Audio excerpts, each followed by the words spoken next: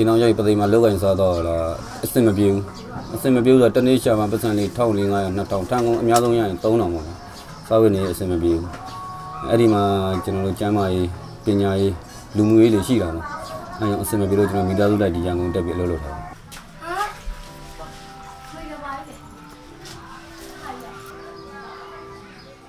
အဲရန်ကုန်ရောက်ရောက်ချင်းတော့အဲ့လိုကိုကလှုပ်တတ်တဲ့လှုပ်လောလောဆယ်မရှိတော့စိုက်ကားပဲတန်းနေရတာပေါ့ ပထမရောက်တဲ့နေ့လောက်ကတော့လောကန်စားတော့နည်းနည်းအဆင်ပြေတယ်ပေါ့နော်ဒီနေ့စိုက်ကားနေလို့ရတဲ့ပတ်စံလေးကိုမိသားစုတွေစားလို့တော့တယ်အခုကတော့စားလို့မလောက်တော့ဘူးပေါ့နော်ပုံစံလုံးလားတအားကြည့်တယ်နောက်ကျွန်တော်တို့ရဲ့နေနေရတဲ့စိုက်ကားတွေကလည်းအုံနာကားတွေဈေးတက်တယ်ဆိုတော့ကျွန်တော်တို့လုံးဝကိုတိတ်ပြီးတော့အဆင်မပြေဘူးပေါ့ဗျာ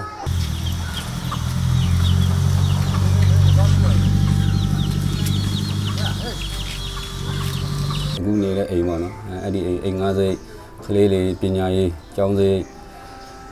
အဲနောက်ပြီးတော့ကျွန်တော်စားစိတောက်စိနေဆိုရင်တနေ့ရတဲ့ပတ်စံနဲ့တနေ့ရ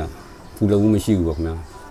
လောက်အားနှုံးနဲ့ရတဲ့ပတ်စံတွေကဘယ်လို့မှမမျှတဘူးပေါ့နော်ကျွန်တော်တို့ကကြည့်ရတဲ့ရတယ်ငယ်လဲတင်ရတယ်မတင်ကျွန်တော်တို့ရဲ့မိသားစုစားဝင်နေတယ်လုံးဝမတင်မပြေလဲတော့ဘူး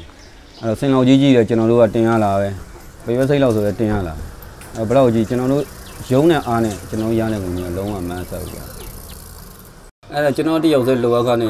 မလောက်ဘူးလေကလေးနှစ်ယောက်ကကျူရှင်လားကရှိတယ်အိမ်လားကရှိတယ်အဲ့ဒါကြောင့်ကျွန်တော်မိမပါ အခုကသူ့ရဲ့သူလည်းပညာတတ်ပါပဲသူလည်းဘွဲရပြီလားဒါပေမဲ့ကျွန်တော်တို့ရှိမှာဘွဲရပြီတော့ဘာမှလုပ်စားလို့မရဘူးအဲ့ဒါတော့သူကစက်ရေးအလုပ်ကိုဝင်လုပ်နေတယ်အဲတစ်ဖက်ကတော့ခုမိလာပါပဲဘယ်လိုပြောမလဲမစုမိတော့မစုမိဘူးမစုတော့မစုမိဘူးနည်းနည်းခုမိတယ်ပေါ့ကျွန်တော်တယောက်တည်းဟိုတပိတ်သားထားရမယ့်အချိန်မှာသူကအစိတ်သားတော့ဝင်ခုပေးတာပါနော်ဟုတ်ကဲ့ခဏအတက်နဲ့မရဘူးမရလဲ အဲ့တော့စကားရမင်းမင်းတက်အေးဟုတ်တယ်ကောင်းပြီမင်းတက်သူစား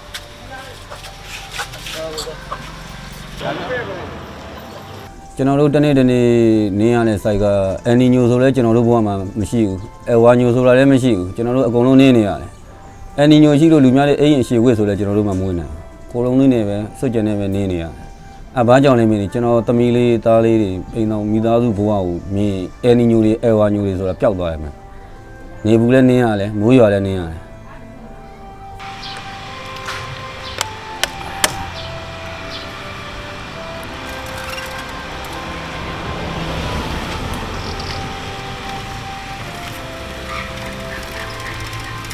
ခက်ခဲတယ်တော့အများကြီးပဲဗျ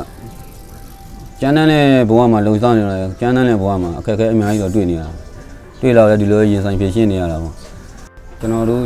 မိဘနှစ်ပါးကတော့ ကိုယ်ပညာမတတ်တဲ့အချိန်ကျကိုယ်သားသမီးကိုကိုယ့်လိုပြင်ပန်းမှာအရင်ဆိုရင်အဲအဲ့ဒါကြောင့်ကျွန်တော်ကလည်းကျွန်တော်သားသမီးတွေကိုကျွန်တော်လိုပြင်ပန်းမှာဆိုလို့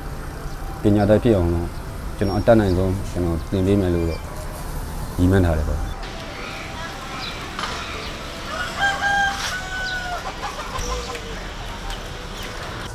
နော်ကျွန်တော်တို့အဓိကအရေးကြီးနေတာကျွန်တော်တို့လူဒန်းသားတွေကကုံစင်းတုံးကအဓိကပဲဗျအမေစုတက်လာတဲ့ချိန်ကျအဲ့ဒီကုံစင်းတုံးတွေအားလုံး နည်းနည်းပြေလည်လိမ့်မယ်လို့လည်းထင်တယ်မျောလဲမျောလိမ့်တယ်ပေါ့နော်နော်အားလဲအားကိုးတယ်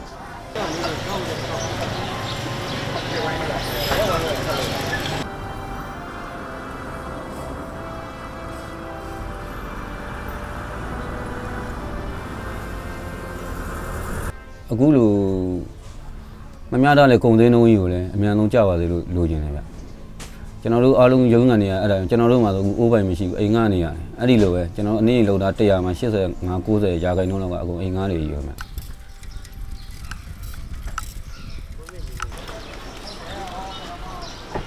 ကျွန်တော်ရဲ့မျောလင်းချက်တွေမှာဆိုရင်ကျွန်တော်သားတွေသမီးတွေပညာတတ်ကြီးတွေဖြစ်ပြီးတော့မင်းစုပြောနေပါဗျာအော့စကိုတက္ကသိုလ်တွေပါကိုတောက်တက်တက်ပြီးတော့ပညာတတ်ကြီးဖြစ်ပြီးတော့